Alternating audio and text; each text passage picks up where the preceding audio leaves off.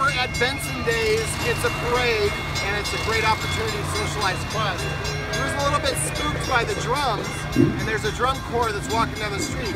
Dogs get over things by literally walking forward, so we're going to actually walk and follow the drums a little bit to help him uh, feel better about the drums and uh, get over it by moving forward towards them while nothing bad happens. Are you ready? You're just gonna stay on the side and just walk. Just make sure you film us both. Come on, buddy. Come on, Quest. So important you don't pull him on the leash. You want to encourage him to come.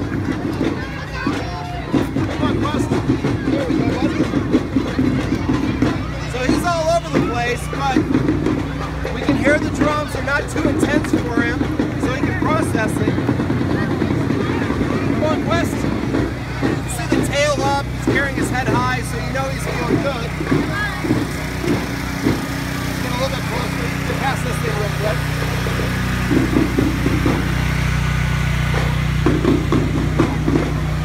the uh, the generator obviously isn't the best sound. Come on with us.